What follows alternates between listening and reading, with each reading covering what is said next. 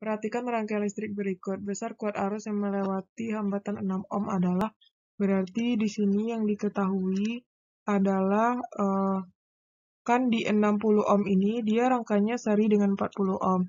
Sehingga nanti I-nya sama nih. Nah, I-nya sama, oke. Okay? Jadi bisa kita cari dulu R total ya, RS, yaitu 60 ditambah 40, berarti 100 ohm. Kemudian bisa kita cari I. I rumusnya adalah ini ya, skala jarum yang ditunjuk 30 per skala maksimum per 50 kali batas ukurnya adalah 1. Berarti ini coret-coret 3 per 5 sama dengan 0,6 ampere.